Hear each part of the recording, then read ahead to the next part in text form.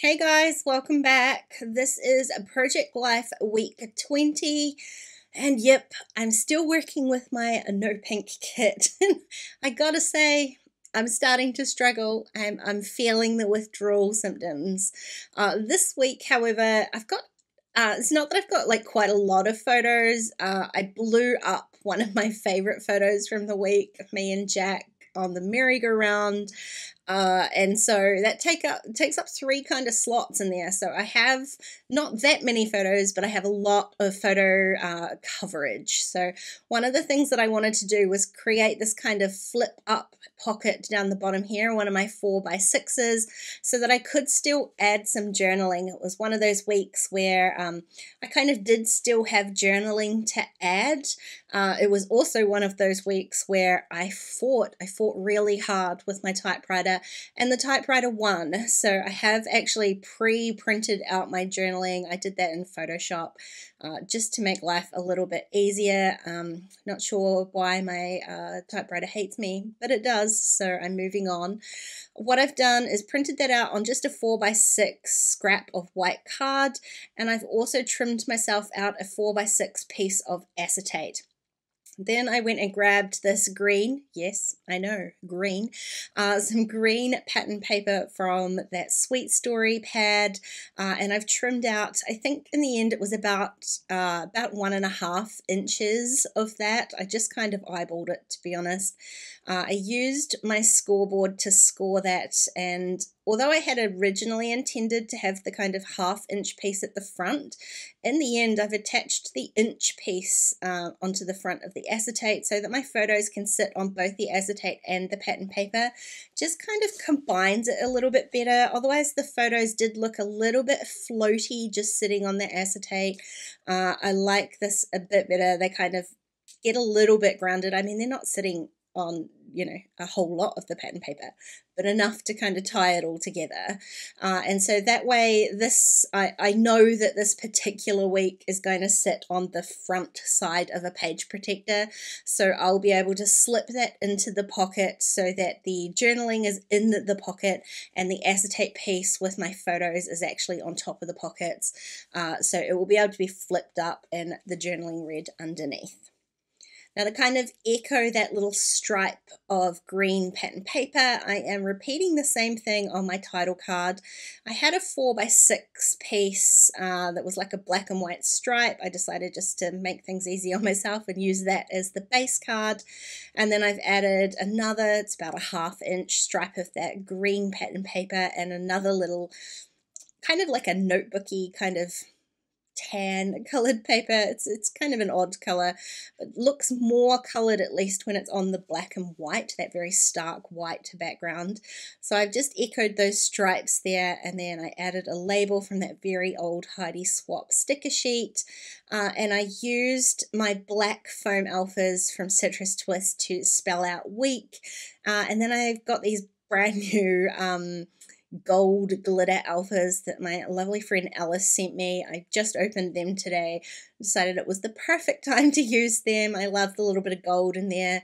The the photo of me and Jack is a little bit kind of there's like golden light in there. I don't know. If it just kind of works. It felt gold to me, so I added the gold alphas there.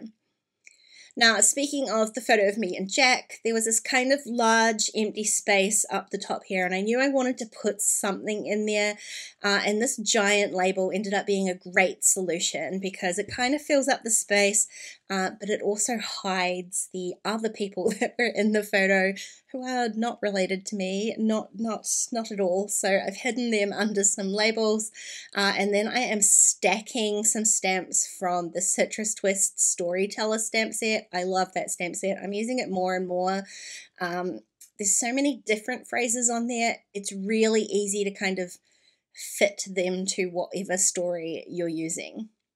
Now, as far as embellishment goes, it's it's going to be a pretty light embellishment week. This layout's feeling pretty busy to me already, but I do still have a bunch of those gold Asterix chipboard pieces. I think they're an Ali Edwards one, uh, and I'm determined to not put too much of this kit back into my stash. So I don't have too many of those asterixes to use, so I'm, I'm going to attempt to finish those up before the end of the month. So I added one to the label on me and Jack, and then I decided to add another one onto the photo of Lil and her haircut down there, just for a teeny bit of embellishment. Uh, and then I'm moving on to my next card. Now, the yes or no worked so perfectly with this photo. Uh, it's just one of those cut aparts from the Sweet Story collection, and I'm using the Alpha, I can't remember the name of the Alpha. Perry, Perry Street, the Perry Street Alpha from uh, Kellie Stamps, and I'm stamping out chair yoga because one day, one evening, I just turned around and Shane was doing this. And when I asked what he was doing, he said chair yoga. Um, it definitely had a question mark on it. so I'm adding chair yoga. Unfortunately, that alpha doesn't have a question mark, so I'm just leaving it at chair yoga.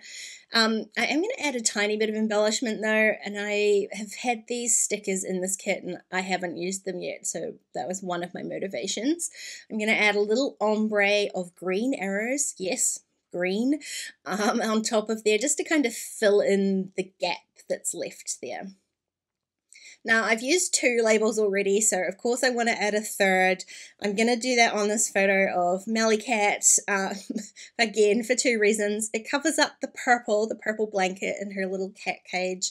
She ended up at the vet this week. Poor old thing has kidney failure, uh, and it's not unexpected. She's pretty old at this point, so she has responded really well to the treatment so far, which is great. And again, I'm using that storytelling stamp set to stamp cat, and then I combined the Perry Alpha uh, to say poor cat and added another little chipboard. Now I decided that because I've used this alpha a couple of times in here, I want to sort of tie it into the rest of the layout. So I decided to stamp hello on top of my title card and I'm glad I did. It kind of, I've got a lot of kind of stamp stacking on this layout and so that kind of tied the title card into that. Now, I was busy here trying to work out how I could stamp burr on this photo uh, using the storytelling stamp set. And then I thought, no, what are you doing, Diane? I have an alpha. Uh, this one is called the Bailey alphabet. Um, it's not the same size, but it's a very similar font. It's the same sort of font as the uh, foam alphas. And so I pulled that out and I'm going to stamp a burr on here. It was a very, very cold morning, that one. Uh, this stamp set does have punctuation, so I know it's not the same font, gonna chuck a question mark onto my chair yoga. It really, really needed it. Uh, and then I'm gonna add one more little gold chipboard and call this layout done. Now this was a super, super quick one to do and I love how it turned out.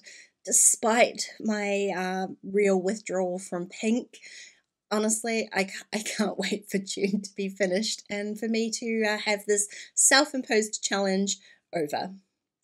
Hey, thanks for watching today, guys. If you enjoyed this video, please give it a thumbs up and don't forget to subscribe to my channel if you haven't already.